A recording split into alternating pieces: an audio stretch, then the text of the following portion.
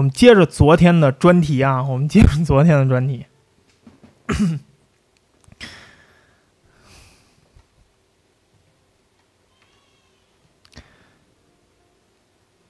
有人吃东西，我们刚才在聊大便，别别大便，这个大便擦纸的时候纸上有血，如果是长期有，赶紧去，赶紧去医院。不，这不光这不不管你是肠道问题还是痔疮问题，你都得赶紧去，得赶紧去，别那个什么啊，别那个携带感染重点。携带和感染的重点区别在哪里吗？感染的意思就是说，它有很高的可能性会发病，知道吧？专题题目是万物简史。携带它不一定会发病，它有很低的可能性发病，但是感染的就可能它有很高的可能性就会发病。所以这个。我们开始我们的专题，我们不不不不要再聊这个下三路了啊！我们要聊一聊三叶虫的下面了，对吧？昨天我们最后留的一个扣儿，是想让大家思考：请问地球上的沉积物都去哪儿了？对吗？这是昨天我们讲完了以后，然后跟大家聊过的一个让大家去想的一个问题，就是地球的这些沉积物，它们到底都去哪儿了？什么叫沉积物？大家知道啊，地球地表上有侵蚀作用，对吗？有风化作用，有各种各样水和风都会把一些东西给吹跑、给带走，对吗？水流过一片地，它会把上面的土带走，然后风吹过一片地，它会把这个土给吹跑，对吗？会风化，所以那么吹跑了以后，这些东西它们去哪儿了？所以当时的地质学界就说啊。到底这些沉积物去哪儿了？为什么？因为按照统计来看，地球上的江河每年它要带走五亿吨的钙，从地上带走了五亿吨的钙，带进大海里头。它它它变成甲烷二氧化碳了，那还了得？大气层那还了得？没有，那那你大气层都都都凝固了，那你现在这喘的你你这你早凝固了。所以按照这个估计的话。海底应该有一层二十公里厚的沉积层，因为他们都最后流向大海，所有的河都流向大海，对吗？然后他们应该现在海底应该有一二十公里的沉积层，二十公里是什么概念？二十公里是一什么概念啊？现在应该远远高出海平面，我们这海，地球上的海早就应该没有了，应该全都是山了。但是很显然不是这样的，对吗？沉积物肯定没有沉积在海里，因为这这这沉积在太厚了，这根本就不可能。所以这个时候，整个地质学界就困惑了。那要是照这样的话，海洋应该被填平了，但是海洋没有被填平。那这些沉积物，地面上沉积物去哪儿了？另外还有一个问题，你知道啊，从地理大发现开始，地理大发现开始之后。大家经常会发现一个现象，就是之前有一个探险家从这儿走过，没有这个地方是什么都没有的。等过了两天，我从这儿走的时候，出来一个岛，哎，这个岛是哪儿来的？这也是大家没有想明白的一件事儿，怎么回事？这个问题一直到了二战，二战期间。当时普林斯顿大学有一个教授，他是一个矿物学家教授，哈里赫斯，他呢参军了，因为二战嘛，呃参军了。他呢当时就指挥着一艘攻击运输舰，叫约翰逊角号，这么一艘船。这船啊，因为它是个运输船，船上有一个特殊的仪器，高级的新型的探测器，叫回声探测器。干嘛用的？探潜艇的，知道吧？这是东西是找潜艇用的，而且呢，在海滩登陆过程的时候，可以找礁石，看看说我我要登陆了，前面我探一下，看看有没有礁石啊？因为声波打到物体上，它会反弹回来，只要你监测到了反弹，就说明你前面有东西。虽然是夜里啊，我看不见，但是我也能够知道我前面有什么。但是赫斯因为他是一矿物学家，他又是普林斯顿大学的教授，所以他很快就意识到啊，哎，这台机器好像可以干点别的。他呢还有一点小爱好，他觉得这个事儿还可以干点别的，于是他就公务私用了。当然，这个事情我们不值得提倡啊，但是。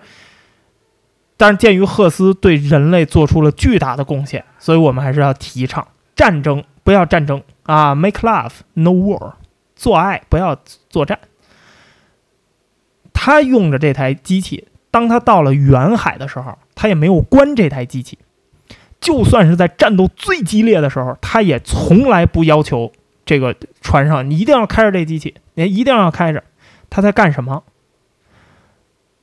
他在探测海底，他想知道海底有多深。他想知道，如果说，因为之前是大家都是个谜啊，这沉积物去哪儿了？他想找到这些沉积物，他想看看这个海底到底有多深，他想知道这海底到底有没有沉积物啊，有没有这些淤泥啊，有没有从这个路上带下来这些钙呀？但是，他开着这个这个这个回声探测仪。在太平洋上转了一圈，结果他的测量结果表明，海底根本就没有又黏又平滑的古代泥沙，没有从岸上冲下来的古代泥沙。海底是什么样的？海底是这个样的，海底遍布沟壑、悬崖、山峰，还有海底火山，什么都有。所以。它这一切都是个谜呀！就海底怎么是这样呢？海底不应该是从岸上冲下来的泥沙，然后把所有东西都填平了，然后光滑的如一的一个表面吗？一个沙子表面不是，海底很深。但是他想进一步的研究，可是第一他没有设备，当时他没有更好的设备了，而且最重要的，你别忘了，他开的是艘军舰，他的第一任务是打仗，于是。再研究下去就该被军法了啊，就该就该被枪毙了。所以呢，他就把这些想法全都搁置了。但是，一直到二战结束之后，他还在坚持研究，带着他这些研究数据、测这些测量数据，他回到了普林斯顿大学，他还是在琢磨这些事情，每天都在琢磨这件事儿。与此同时，整个二十世纪五十年代，海洋学家也开始对海底进行更深的考察。在这个过程中，他们也发现了，原来这个地球上最高的山，哎，最高的山是什么山啊？喜马拉雅山。很多的人都说喜马拉雅山珠穆朗玛峰啊，我们跟尼泊尔一人一半，对吧？大家都知道八千八百四十八海拔，但实际上，当海洋学家去研究海底的时候，大家发现这个说法完全不严谨。我们只能说，海面以外的最高的山是喜马拉雅山，但地球上最雄伟的山、最大的山脉，通通都在海底，全都在海底下，沿着世界的海床不断的延伸，就像地球上的花纹一样，从冰岛开始，一直往南进发。你顺着这条山脉，你能够直接走到大西洋的中心，然后绕过非洲的底部，穿过印度洋和南太平洋，进入澳大利亚下方的太平洋，然后斜穿太平洋，去到加利福尼亚岛，形成一个巨大的凸起。这个凸起就成为了美国本土到阿拉斯加的西海岸，整个美国就是这个山露出来的。偶尔，它的山峰会露出水面，就会形成海岛和群岛。比如说亚速尔群岛，比如说夏威夷群岛，这些都是海底的山脉露出的小尖尖、小尖尖龟头。哎，不是头啊！海当当这一个棒棒太长的露出头在外边，这就是海底的那个山脉。如果把我们所有已经知道的、我们已经探明的海底的山脉加起来，说这山脉有多长，主线加支线。这个山脉的总长超过七万五千公里，可以绕地球一圈半。当然，这个发现，在很长一段时间，很多人根本就不敢相信，怎么怎么会这样啊？但实际上，十九世纪大家发现了一件事儿，大大家做了人类做了一件事儿，铺海底电缆，对吗？其实铺海底电缆的人已经发现了，大西洋中部电缆断了好几次，铺到这儿就断，铺到这儿就断，为什么？因为大西洋中部有山脉。但是当时这个海底电缆铺上海底电缆的人，他觉得奇怪，海底怎么会有山脉？但是他们已经猜到海底有山脉了，因为它客观存在啊。我要多，我我本来预估这个距离是多少，我就做了这么长的电缆，结果它的距离不够了，那怎么办？就是说明这底下有凸起嘛，对不对？但是当他们想去绕过山脉的时候，他们发现他们根本就绕不过去。这山脉的连贯性和整体范围完全出乎大家的意料，而且它的形状特别的不规则，很难解释。大西洋中部有一座大山，地主阶级哎，不是，有一座大山。这大山下边有一个巨深的峡谷，这个峡谷的宽度达到了二十公里，这个峡谷的长度全长一万九千公里的大峡谷。你今天说啊，世界上最大的。大峡谷，你要到美国去找，错了，不在美国，在海底啊，在大西洋。这样的话，很多人就在猜，一个宽二十公里，宽二十公里啊，二十公里有多宽？好多可朋友可能都没有印象，就有多宽？北京北西三环到到东三环之间二十公里。就这么长，北京，一个北京这么宽的一个裂缝，这么大一个大峡谷，一万九千公里，这么长，那这会不会说明一个问题？地球裂开了，对吗？这当时因为大家不知道这个海这个峡谷有多深，他们测量不了，他们只知道这儿有一个大峡谷，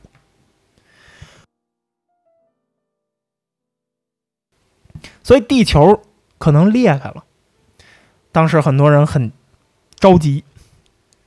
哎呀妈呀！再过不久，我们就要生活在不同的两个半球了。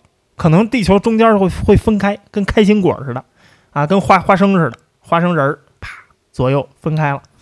啊，你住这边，我住那边。那个时候就咱不能再坐飞机去了，那时候可能咱们得坐飞船了啊。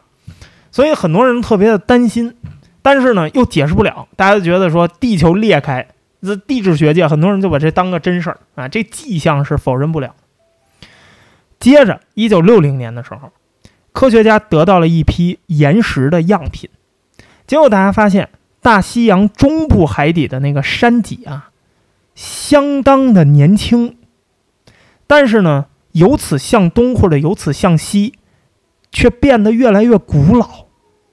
哎，这就奇怪了，同一个海域里头，竟然有的地表比较年轻，有的地表比较古老，怎么回事儿？他们怎么回事儿？这个时候，思考这个问题、找到答案的人还是哈里·赫斯，因为他是第一个直观的看到了海底是什么样的人，而且回到普林斯顿大学之后，他一直都在琢磨这个事儿，他觉得。这个情况只有一种意思，就是什么呢？新的海底的地壳在中间这个裂缝的两侧形成，然后呢，被后面随即产生的更新的地壳往外推。所以，大西洋这个海底它应该是一个什么样的啊？你看一下，他他他说的是什么意思啊？就是它中间隆起了一个部分。然后它把边上的这个地面啊、岩层啊，就从这个中间隆起这个部分不停的在往外出，然后呢，它向两侧流下去了，慢慢慢慢流下去，这就造成中间的部分比较新，两边的部分比较旧。这个过程非常非常缓慢，但是它确实在进行。所以大西洋的这个海底下是一个什么东西？赫斯比较形象的解释。他说：“有点像一个传送带。这个传送带有两个方向，有一个终点，有两个方向。一条把地面把它吐出来的这个土地和岩石传到北美洲，一条把它传到欧洲，慢慢慢慢慢慢的，他们把这个地就都给输送过去了。这个过程就是著名的海底扩张理论。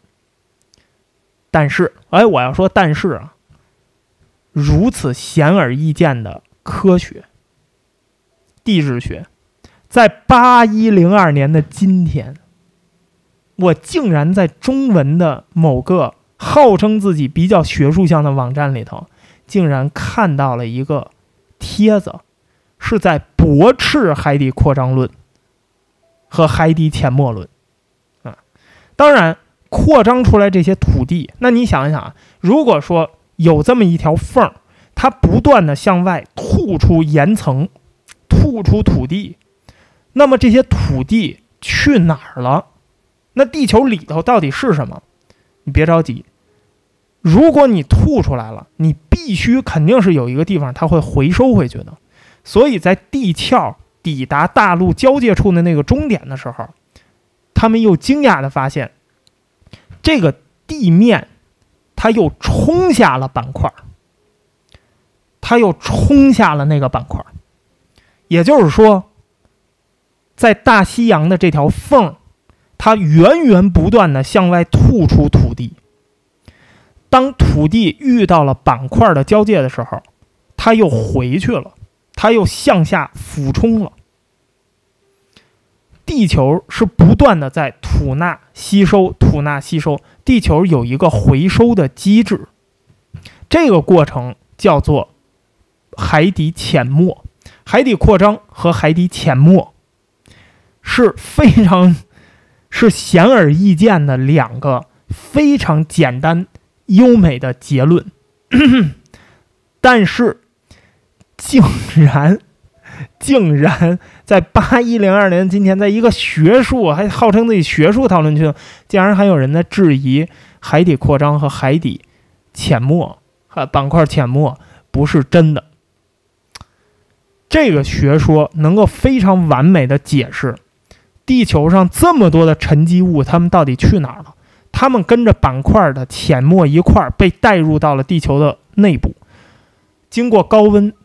一次循环之后，再由海底扩张的豁口吐出来，地球就是这么源源不断的吐出，源源不断的回到地球的肚子里头。这样的话，也可以解释为什么在海底我们找到在悬崖附近的地面比较年轻，在悬崖越远，这个地面越老。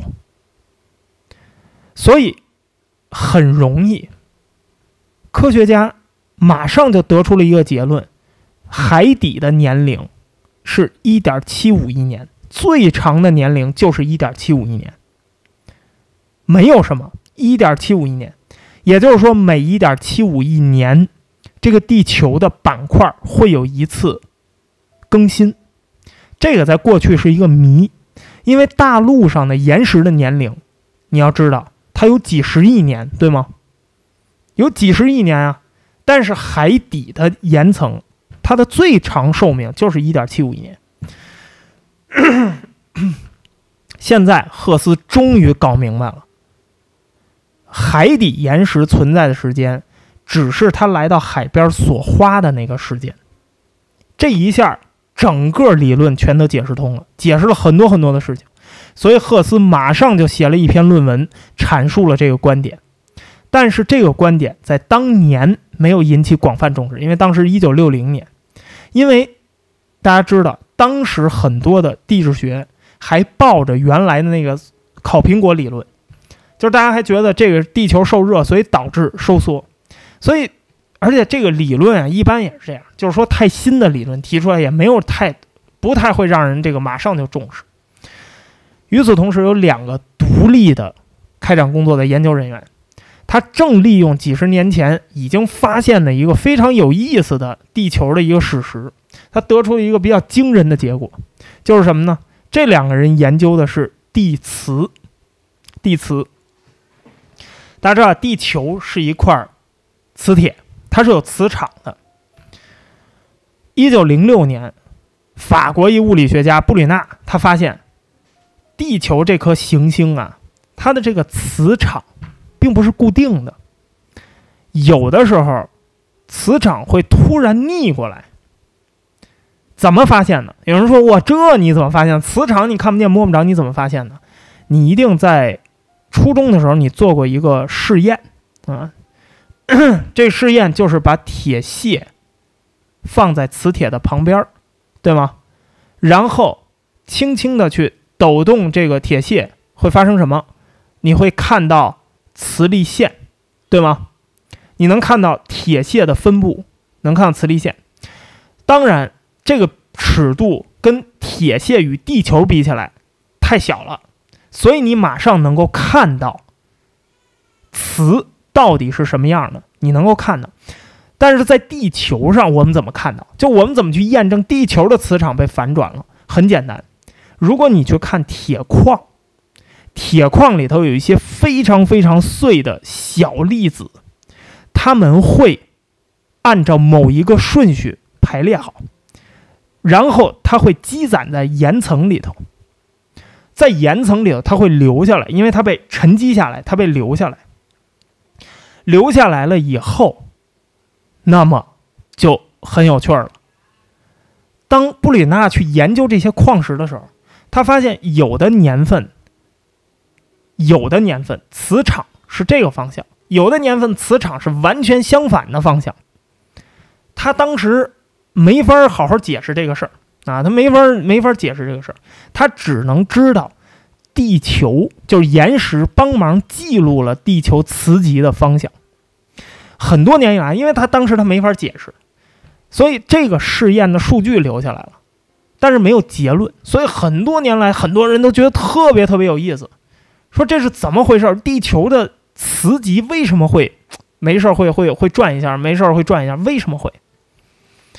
到了二十世纪五十年代的时候，伦敦大学有两个人啊，一个朗科恩，一个布莱克特，他们两个人研究英国的古代的磁场的模式，结果他们也特别惊讶，发现那些岩石表明啊，就在英国这个地方，英国曾经自转过一次，它向北飘了一段距离，解释不了了，就是说英国你闲的呀。一个岛，闲的呀，突然自转了一下，然后往北飘了一点。然后他们还发现，如果你把历史上欧洲的磁场和历史上美国的磁场做比对，你会发现欧洲的磁场和美国的磁场，二者完全是合拍的。也就是说，欧洲是正的，那么美国一定是负的；欧洲是负的，美国一定是正的，一定完全合拍。从历史上你怎么看都是合拍的，就。很像是被撕成两半的信，这就非常的古怪。但是这两个人太年轻，他们两个人当时连教授都不是，呃，也不是博士，就是两个研究生，所以他们的发现没有引起任何学术界的注意。接着，剑桥大学又出现两个人，这两个人可就不一样了，一个是著名的地质学家马修斯，另一个是马修斯的一个学生，这个弗雷德瓦因。马修斯带着他这个学生。啊，他学生做研究生啊，做这个课题，他们当时呢就去大西洋海床去研究这个磁场去了。结果他们很有说服力的表明，海床确确实实就像赫斯所说的那样，它在不断的扩展。赫斯的模型是完全正确的，它在不断的扩展，而且不光这个海床在扩展，海床上边是什么东西啊？海床上面是我们的陆地呀，对吗？海床在扩展，而且在海床上面的陆地也在跟着海床在移动。加拿大有一位科学家，这个劳伦斯·莫雷，他是在同一时间得出了同一结论，但是他比较倒霉，因为他没有找到发表的刊物，所以这个论文晚了，所以这个事儿就让这个马修斯带着他的研究生瓦因发现了，但其实他们是几乎是同一时间发现的。因为为啥这个这个劳伦斯·莫雷他当时没有找到发表的地方？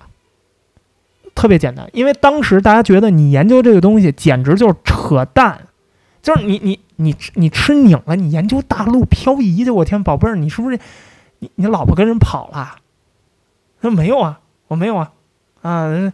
他当时找到的是《地球物理研究杂志》，《地球物理研究杂志》的编辑就直接就跟他说：“你研究这东西挺有意思的，但是你研究的这个东西啊，这不是我们地质学的东西。这些推测，你有证据吗？你有没有证据？这些推测，你随便找个鸡尾酒会，你跟人吹吹牛牛牛欢喜就得了。你还拿到学术杂志上来来发表？我天呐，宝贝儿，你你你是不是？你是不是是不是孩子不吃饭啊？啊，老婆是不是？”跟老王什么怎么？这件事情成了一个科学史上著名的冷落别人的意思。这明明是一个有有有用的，结果让他那什么了啊？后来有一位地质学家就调侃这件事儿，他说这很有可能是有史以来被拒绝发表的最有意义的一篇地球领域的科学论文了，很有可能啊。对，那时候没法测量啊，没法观测，因为没有 GPS 呀。啊，无论如何。你看啊，一切的理论基础都已经具备了，现在就等着那个观点出现了。一九六四年，世界上著名的地质学家跑到这个伦敦开了一个研讨会，研讨一下地质学界究竟要不要接受海底扩张和海底这个这个这个这个潜没啊这两个学说。突然之间，皇家学会惊讶地发现，之前一直在否认海底扩张和海底潜没学说的这些老学究们，一夜之间好像都改变观点了。结果这个会议竟然全票一致通过，没有错，赫斯是对的。地球确确实实不像我们想象、过去理解那样，地球是一个拼接画，它是一个拼图。就像是一个镶嵌画，地球很热闹，上面推推搡搡啊，遍布着各种各样的板块。大家发现了，这次研讨会还通过了，以后咱们不叫大陆漂移了啊，因为什么呢？因为移动的不光是大陆，移动的其实是整个地壳。所以这次会议大家就决定了。啊，我们称它为板块儿。到了一九六八年年末的时候，三名美国的地震学家就在《地球物理研究杂志》发表了一篇全新的论文。从此之后，我们有了一个名字啊，这些地球的拼图叫什么呢？板块构造啊，这就是板块的来源。板块。给大家找了一张中文的图啊，你可以看一看啊，板块。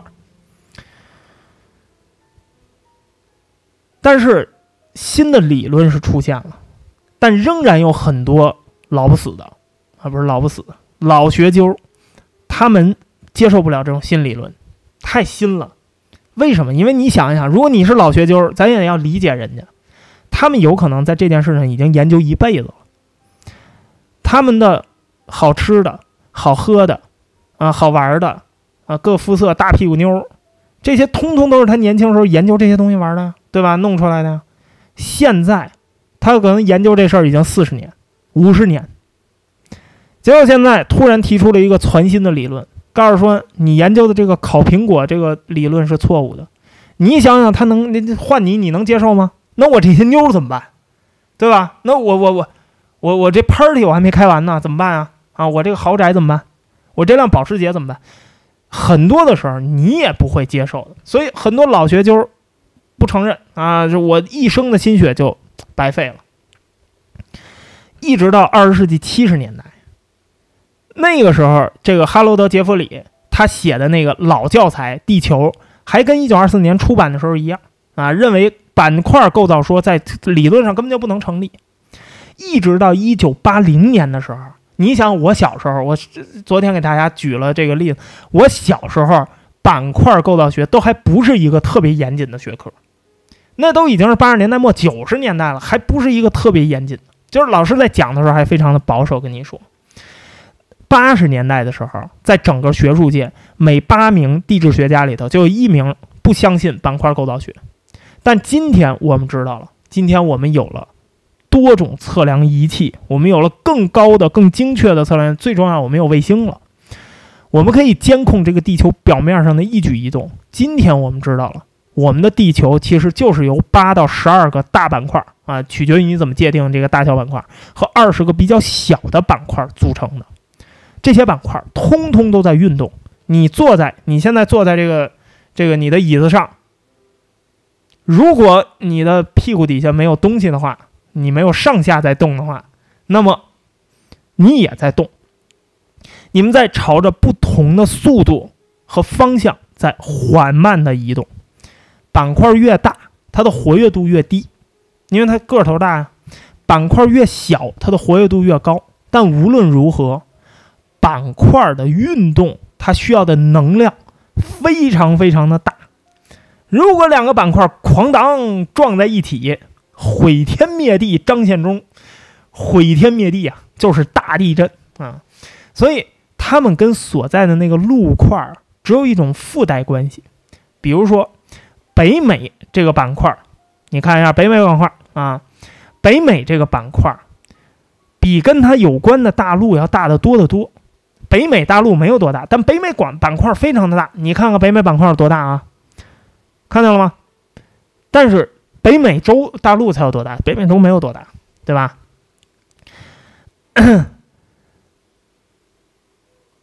板块大致啊，你看啊，沿着大致啊，我们描述一下，大致沿着北美这个大陆啊，西海岸向下延伸，对吗？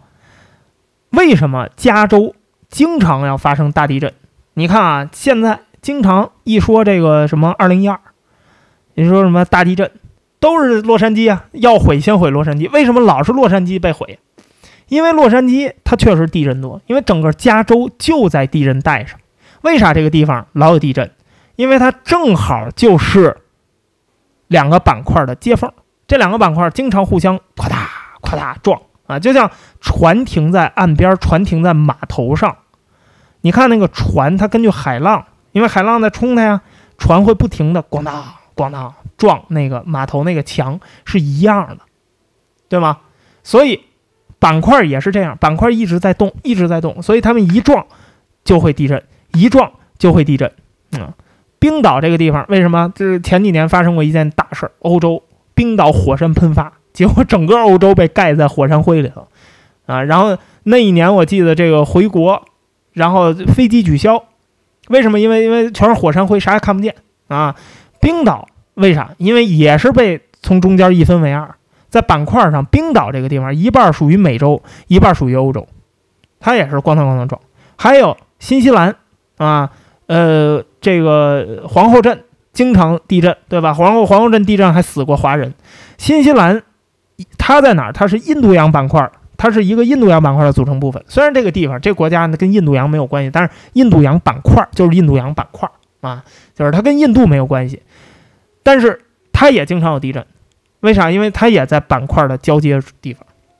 所以这个时候就有意思了，人们就发现现代陆地。跟古代陆地之间的关系啊，比之前大家想象要复杂的多。这个地球原来是什么样的？哈萨克斯坦，它原来跟挪威和英格兰，呃，跟挪威和这个美国的东岸是连着的，知道吧？纽芬兰也跟欧洲是连着的，就加拿大这个纽芬兰啊。但是如果你现在在麻州，你在波士顿，你捡一块石头，你在海滩上捡一块石头。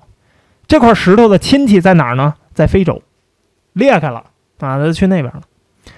苏格兰高地跟斯堪的纳维亚有很多的山是一条山，结果被断开了。南极洲过去跟哪儿连着？很有可能是跟美国东部连着。所以你看啊，我们今天再一看这个板块神了，原来板块，原来岩石，原来陆地。真的就是吃饱了没事儿，它真的会离开，它会飘的啊，它会走，吃拧了飘。因为连续不断的动荡，板块是不会合成一个静止的板块的。如果按照目前板块运动发展下去的话，那么最终大西洋会越来越大，太平洋会越来越小，加州会从美国本土断开。变成一个大岛，变成一个像马达加斯加那样的大岛。非洲会向北继续推进，向欧洲推进，会把地中海挤没。巴黎和加尔各答之间会形成一条巨高的山，会比喜马拉雅山更高的山。澳大利亚可能会跟北边的海岛会连成一片。这些都是未来的结果啊，就是当然不是近期可以见到的事儿啊，你也不用再想了。但是这个事情每一分每一秒都在发生着。咱们现在在播专题的这个过程中，就咱们现在在听专题的时候，你屁股底下的机呃，你屁股底下的这个椅子呃，这连着的这个地，它正在飘动，正在飘动。我们现在有了全球定位系统，我们有了 GPS，我们可以精确的看到。板块的移动，我们可以看到欧洲和北美洲，它的速度，它的移动速度，就正好是你人指甲生长的速度。人的一生大概会长两米长的指甲，这两米啊，老铁一生一起走，谁先长完，谁谁先走啊，就是。一生，你人的一生两米的速度，欧洲和北美洲正在渐渐的远离。如果你能够等的话，你可以现在坐着板块从洛杉矶一路坐到旧金山，啊，就是因为人的寿命实在太短了，咱们没法享受这种变化。但是如果你看一眼地球仪，实际上你看到的是。此时此刻板块的快照，而不是地球板块真正的样子，它只是一张快照，千分之一的时间里的一个状态。这个状态是临时的，但很奇怪的是，研制的行星里头，只有地球才有板块。金星几乎就是地球的孪生兄弟，但是金星没有板块活动。为什么不知道？可能是恰好我们有这种材料，可能是恰好因为我们有海洋，也可能恰好我们地球内喷发的物质的总量足够，但我们不知道。据认为啊，仅仅是认为，板块是地球机体的一个组成部分，所以。基于这个观点，很多的科幻小说家开始下文章了。那有没有可能地球是个生物呢？板块有没有可能就是地球的皮肤在生长，或者皮肤在湮灭的过程呢？嗯，但是板块对地球的整个发展产生了重要的影响。之所以板块，之所以地球上会产生生物，会产生生命，会产生我们这样的生命，会产生抬杠的水友，为什么？是因为有了板块。如果没有这个板块的话，那么生命的发展可能会受到完全不一样的影响，这是难以想象的。板块引发了很多很多的东西，引发了气候变化，对吗？引发了地质变化，引发了很多很多变化。我们有石油，我们有古生物的化石。对吗？我们有很多很多的东西，所以板块对于地球来说，或者对于我们人类来说，太重要，太重要了。当然，也有人认为大陆漂移就是某些动物灭绝的一个原因啊。二零零二年的时候，十一月啊，二零零二年十一月，剑桥大学有一个叫托尼·迪克森的，他在科学杂志上写了一篇报道。这篇报道里头，他就认为岩石的历史跟生命的历史。很有可能有极其重要的关系。迪克森确认啊，他说，在过去的五亿年里头，因为你想啊，岩石的构造，它是一个什么变化？岩石的构造其实是化学结构变化，对吗？但是如果我们去观察岩石的话，我们经常会发现，在某一个时期，岩石的化学结构会突然发生戏剧性变化，这些变化。经常就能跟我们在考古学上发现的一些生物史上的重大事件能关联上，比如说大批微生物突然出现的时候，英国英格兰南部白垩悬臂形成了，寒武纪贝类在海洋里头突然增加，恐龙灭绝了，等等等等等等，不知道怎么回事，谁也说不清楚什么原因会导致海洋化学成分会产生这种戏剧性变化，咱不知道，我们只能猜测海脊的张开和合拢。可能是个原因，但它们在产生什么样的变化，不知道。无论如何，板块构造学它能够解释的东西，我们到目前为止的几乎所有的疑问，它都给解释了。地球表面的力学到底是在怎么动，我们能解释，对吗？还有之前我提到的那些问题，古代的三指马。他怎么从法国跑到佛罗里达呃佛罗里达去的？怎么美国和法国就按照过去的地质学家说，这有个生物桥啊，有个大陆桥啊，啊哪哪哪发现同种动物了，哪就有个大陆桥嘛。这不用再有大陆桥了，很简单，就是裂开了，对吗？三指马在这儿有，在那儿也有。他还解释了很多的内部的活动，比如说地震怎么形成的。群岛是怎么形成的？还有在地理大发现之后，一直困扰着这些航海家的一个问题：为什么几百年前的人走到这儿了没有岛？为什么我今天走到这儿，这儿有个岛？这岛是哪来的？是当时他没看清楚吗？不是，有可能是，但是很显然不是。有的时候我走这岛怎么倒霉了？为什么？就我们不知道。这样的话，但我们用大陆板块，我们用板块构造学说，我们都可以解释山脉的位置，冰河期什么时候到来？甚至生命本身的起源是怎么出现的，我们都可以解释了。几乎没有任何的东西能够逃开板块构造学说，因为这是我们地球最根本的运动，对吗？所以从这一从有了地质就是板块构造学的这一刹那开始，地质学家们过去非常的困扰了很多很多的问题，一夜之间全说得通了。大家都知道啊，这是因为。板块在不断的运动，但是只是在某种程度上。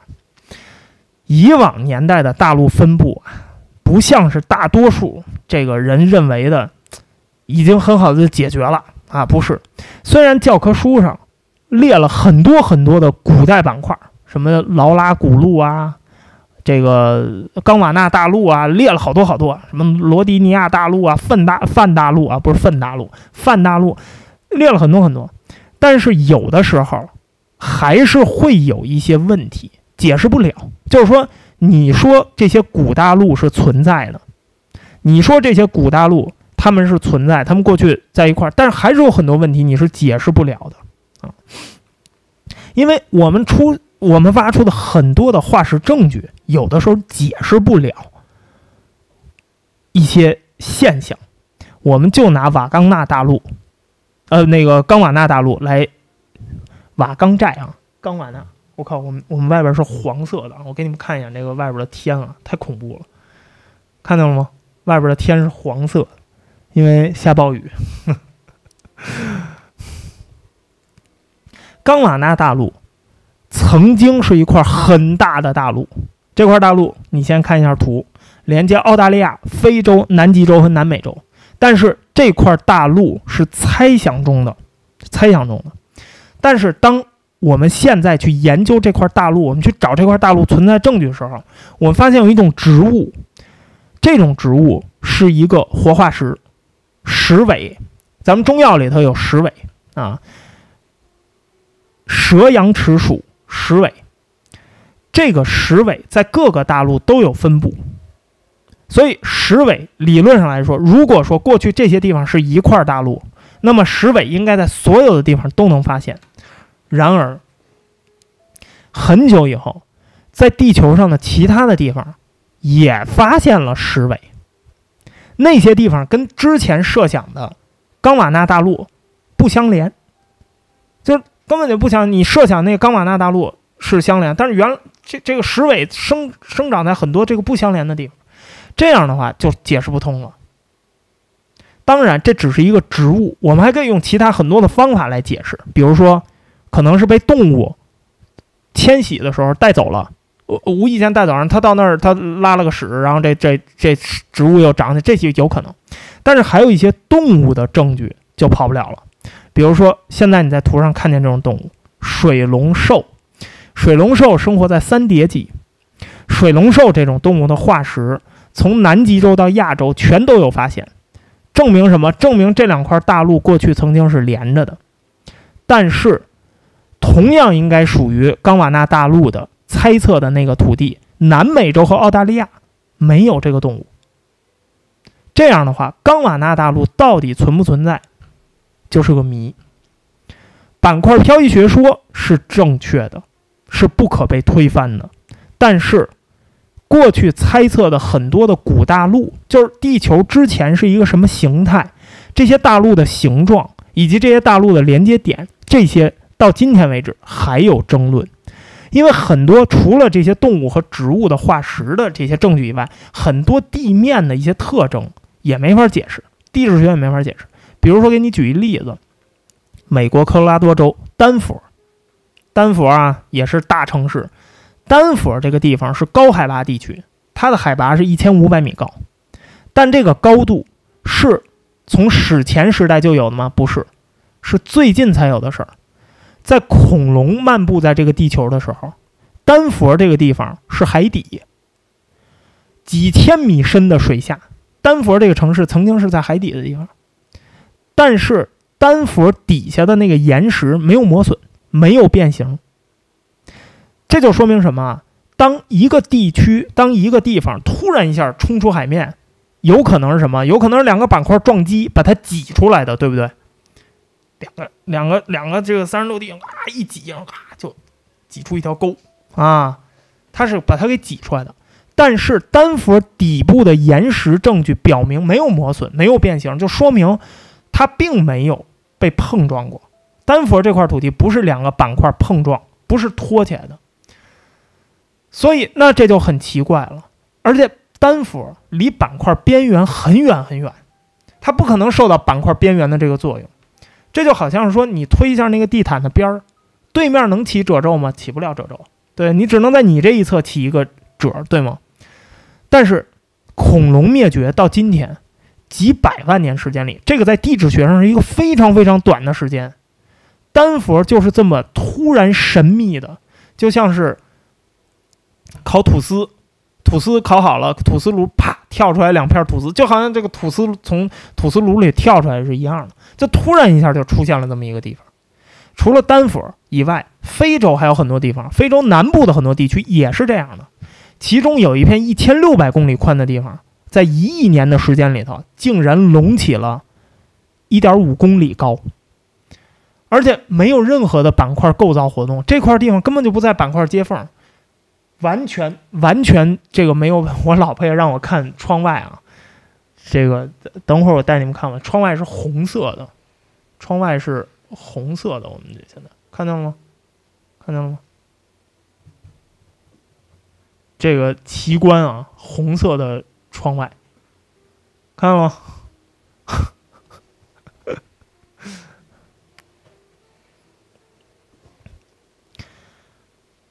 所以，非洲这些地方，一千六百公里宽的地方，突然就隆起了一点五公里，没有任何板块构造和活动，因为他们根本就不在那个板块的边缘，不在，怎么回事？这怎么解释啊？还有一个解释不了的，澳大利亚，澳大利亚这个地方会慢慢的倾斜下沉，在过去一亿年的时间里头。它一方面朝着北边慢慢的漂移，向亚洲慢慢漂移；另一方面，它的边缘又下降了，又沉进去了两百米。印度尼西亚这个地方很快就要消失了，当然这个时间它会拖着澳大利亚一块儿下去，沉下去。构造理论还是有解释不了的地方，就是我刚才说这些地方，这些也是板块构造学解释不了的地方。至于为什么会这样，不知道，现在我们还没有解释。但是不管怎么说，魏格纳没有看到自己的思想被印证的那一天。他是第一个提出大陆漂移学说的正经学者啊！当然，泰勒就更没看见了。魏格纳没有看见自己的那一天，一九三零年他五十岁的生日，魏格纳自己一个人出发去格陵兰岛探险，结果他再也没有回来。几天以后呢，有一个搜救队去格陵兰找他，结果发现他冻死在了冰面上，然后他就被埋在那儿。至今，因为已经被冻在冰的底下了，所以也刨不出来了。至今，魏格纳先生还在冰里长眠。只是今天，八一零二年的今天，距离一九三零年已经过去这么多年了。他现在的魏格纳的尸体，比当时他死的时候向北美洲大概离近了一米左右。爱因斯坦。很遗憾，一九五五年他写的最后一个前言站在了错误的那一边儿，所以爱因斯坦也没有活着看到自己犯的这个错误。一九五五年，爱因斯坦死在了普林斯顿，啊，这个最后他活的时候，他也没有意识到自己犯了一个严重的错误。另外，提出构造理论另一个重要人物啊，哈里赫斯。他当时也在普林斯顿，爱因斯坦死在普林斯顿，他也在普林斯顿。然后他后边就没有再做出什么惊天动地的研究了，但是他仍然留给了我们一个极其重要的遗产。他留给我们一个人，他带了一个研究生，这个研究生就是沃尔特·阿尔瓦雷斯。阿尔瓦雷斯最后会以完全不同的方法改变整个科学界，不光改变地质学界，还要改变天文学界。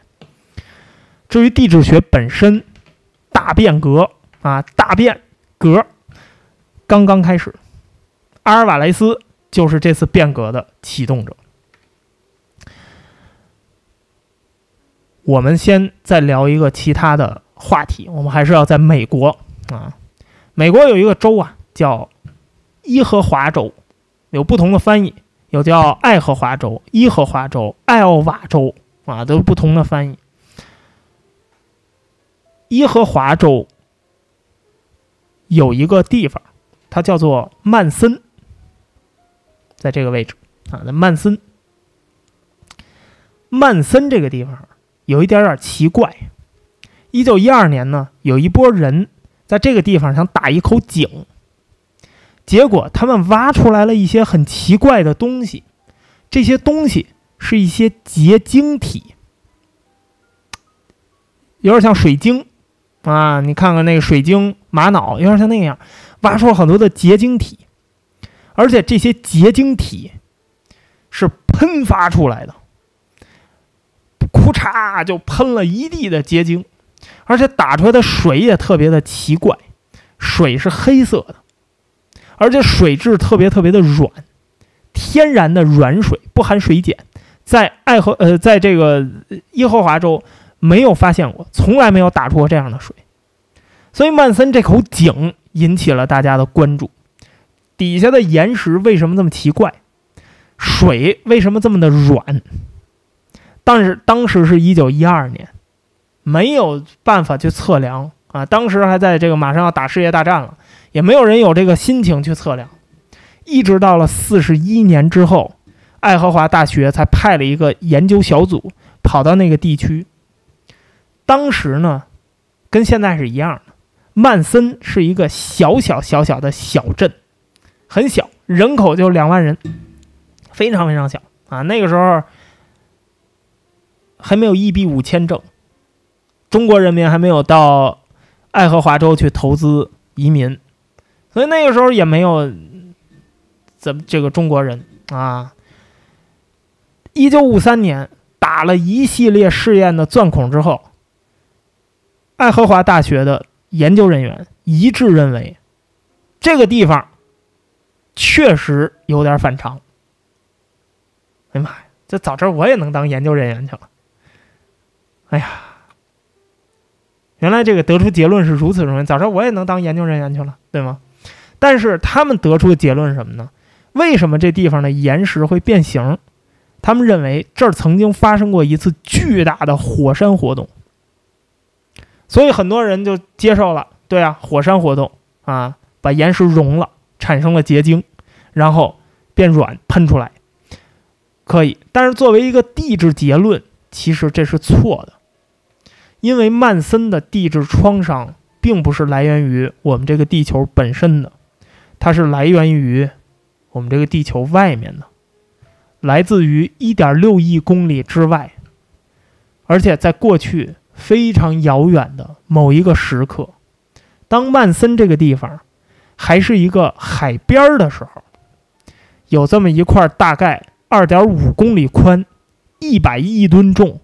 以两千倍音速飞行的岩石，穿过大气，bang 的一声，砸进了地球。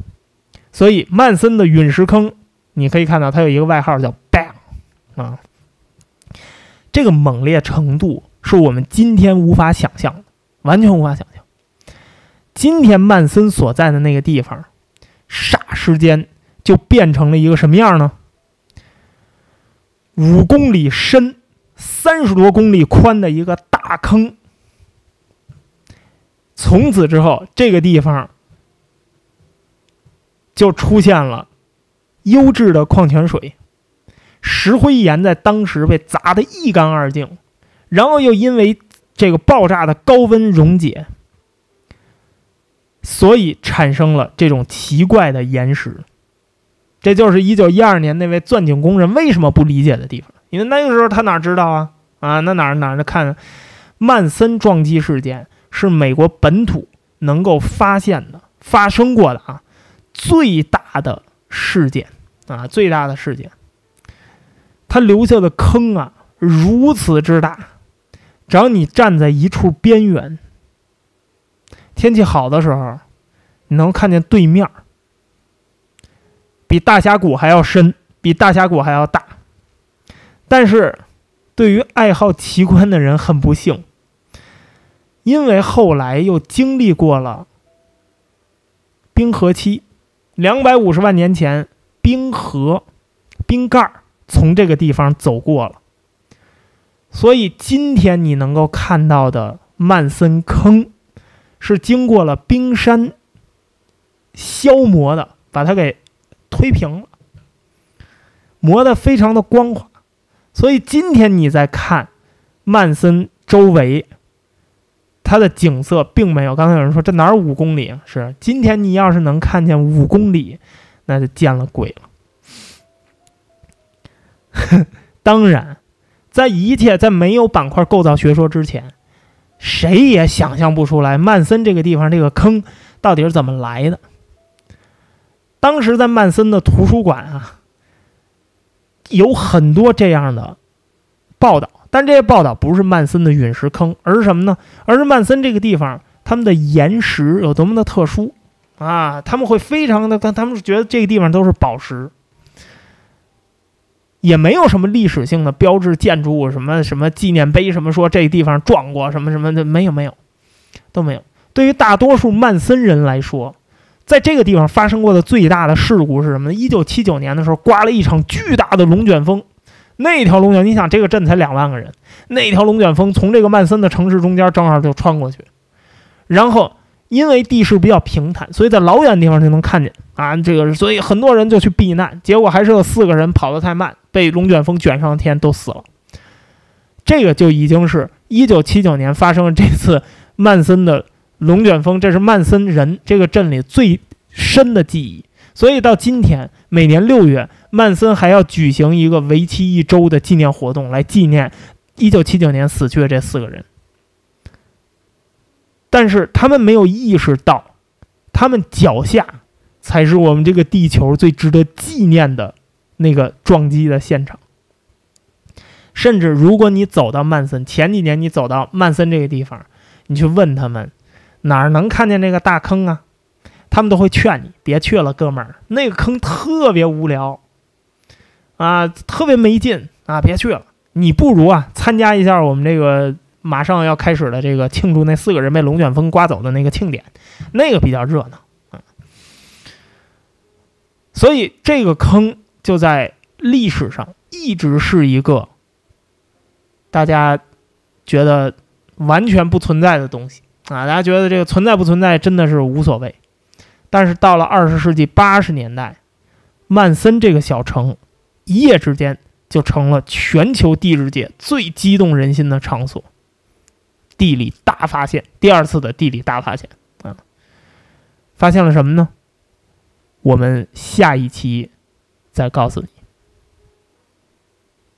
好了，本期的本周的万物简史我们就都结束了。明天是太平天国了，后天呢是崇祯的第一期啊。所以想听万物简史，你要等到下周三了，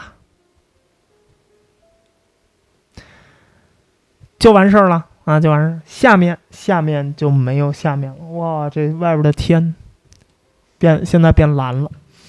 下课起立，老师再见。嗯，下一期下周三。一个小时感觉好快，对。